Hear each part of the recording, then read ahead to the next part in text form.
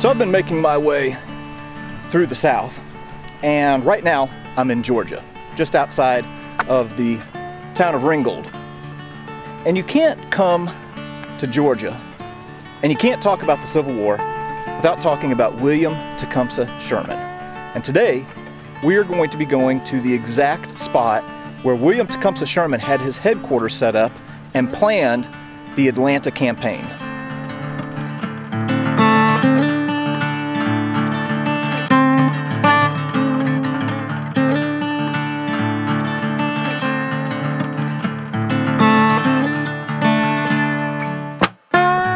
This is so cool, and I've always wanted to see this, seriously. Uh, this is an example of something called the Sherman necktie. So the Union troops, in order to uh, basically disrupt the operations in the Confederacy, were tearing up rail lines, amongst many other things, and they would pile up these railroad ties and then set the tracks on top of them, set the ties on fire, and then you can see the result as the heated metal would would bend. Now, one of the problems is that you could heat this back up and straighten it out. So Sherman ordered his troops to start taking these uh, these rails and twisting them around trees and deforming them so that they could no longer be used. So cool. I wanted to show that before we got over to the house.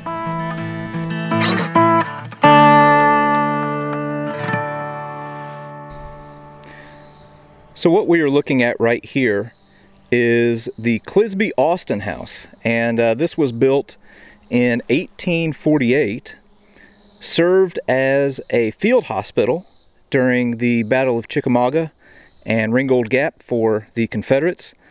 And then whenever the Confederates withdrew from this area, served as the field headquarters for William Tecumseh Sherman pretty cool. We're going to take a little look around this property and then go inside the house.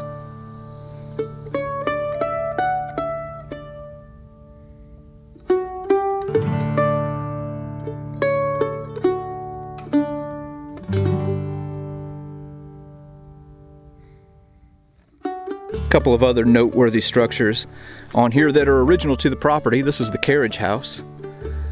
And right back here is the chicken house. You can see it's built a, a little bit different to promote airflow within the building. And then there was also, you know, a barn and smokehouse and some other structures here at one point, which are no longer here. But a lot of it is still all original. Pretty amazing to, to have all of that still here.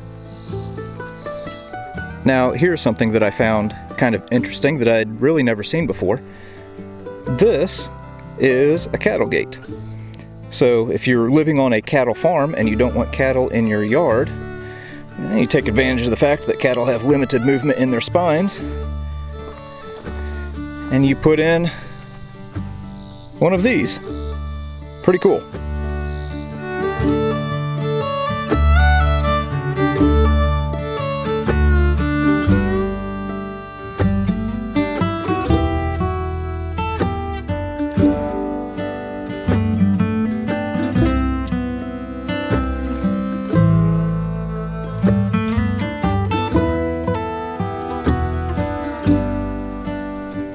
All right, so we just walked into the house here, and uh, this first room that we're looking at is the living room.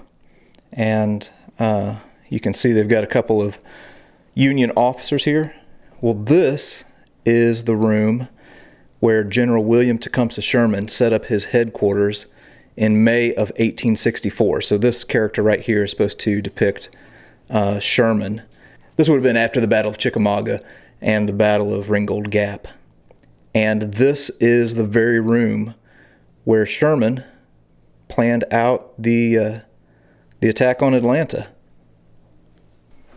Walking out of the living room, uh, this area right here would have served as the original dining room of the house.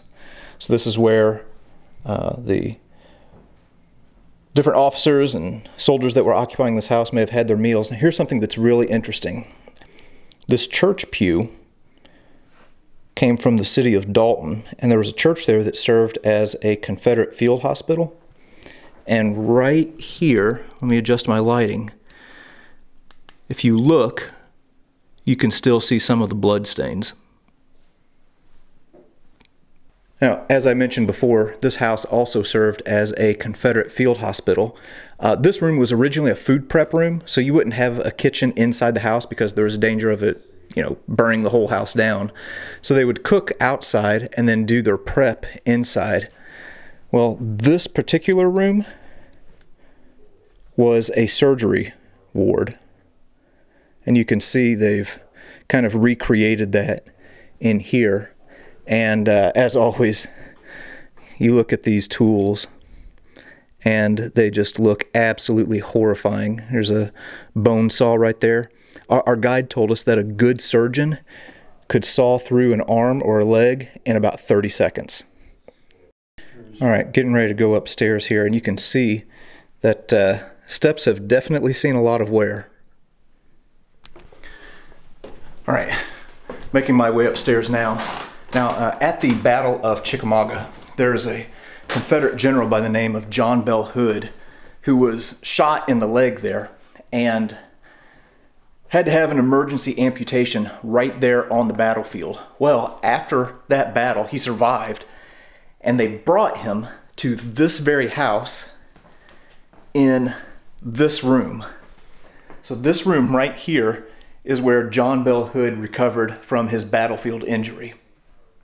So here's a picture of Confederate General John Bell Hood, and they have this mannequin with one leg, kind of showing the likeness of Hood after his amputation. And uh, he, he got right back in the game after he recovered and still still served out in the war. As a matter of fact, Fort Hood is named after him, and he recovered right here in this room. How crazy is it that General Hood and General Sherman both occupied the same house and then would be going right up against each other later in the war for the Battle of Atlanta. Hey, look, they also have some indoor plumbing here, minus the plumbing.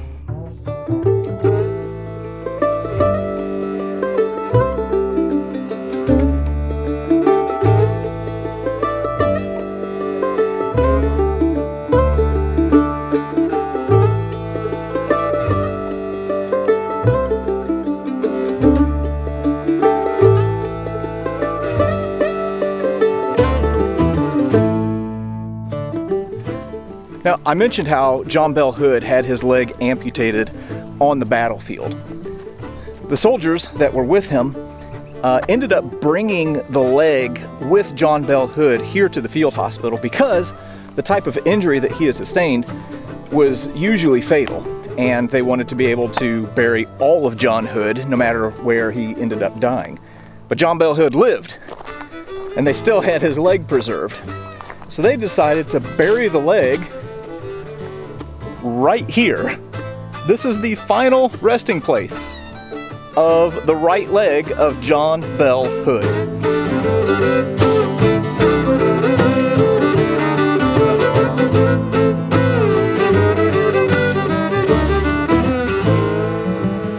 All right, well that was pretty cool. It's not every day that you get to see a Confederate field hospital and the headquarters of one of the most famous Union generals of all time. And to get to see them both in one place, that's pretty amazing. And we saw the grave of John Bell Hood's leg. So anyway, yeah, pretty cool place. I'm, I'm glad that we stopped here today, right here in Ringgold, Georgia. All right, we're off to the next place.